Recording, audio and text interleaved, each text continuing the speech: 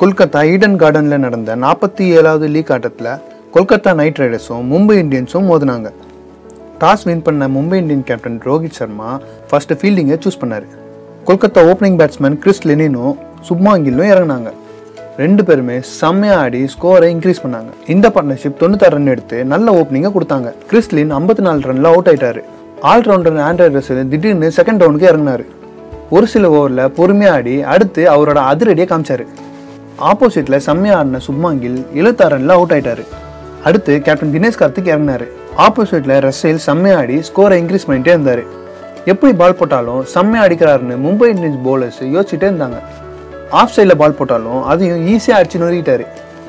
ரசேலோட செம்மையான பேட்டிங்னால கொல்கத்தாவோட score increase ஆகிட்டே இருந்துச்சு. இருபது ஓவரில் ரெண்டு விக்கெட்டுக்கு இரநூத்தி முப்பத்தி ரெண்டு ரன் எடுத்தது. இந்த சீசன்லேயே அதிகபட்ச ஸ்கோர் இதுதான்.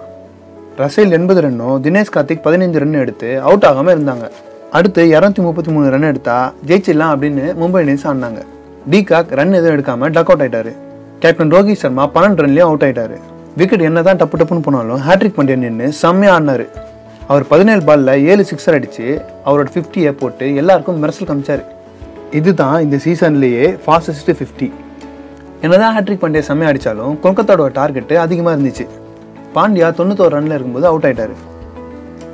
இருபது ஓவர் முடிவில் மும்பை இந்தியன்ஸ் ஏழு விக்கெட்டுக்கு நூற்றி தொண்ணூத்தெட்டு ரன் மட்டுமே எடுத்தாங்க. இதனால் கொல்கத்தா முப்பத்தி நாலு ரன் வித்தியாசத்தில் வின் பண்ணிட்டாங்க.